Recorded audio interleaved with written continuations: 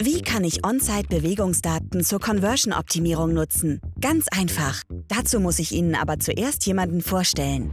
Das ist Tim. Tim ist wieder einmal im Reisefieber und in seiner Customer Journey kurz vor Kaufabschluss. Die neuen Airbubble-Laufschuhe haben es ihm angetan. Gerade als Tim dabei ist, den Kauf abzuschließen, ruft ihn sein bester Kumpel Julian an. Hey Julian? Bis in die tiefe Nacht. Der Airbubble ist beinahe vergessen. Wäre es nicht toll, wenn Tim am nächsten Tag eine ganz spezifische Nachricht erhält? Denn wenn Kunden per E-Mail an ihren Warenkorb erinnert werden, kaufen 50% den Artikel doch noch.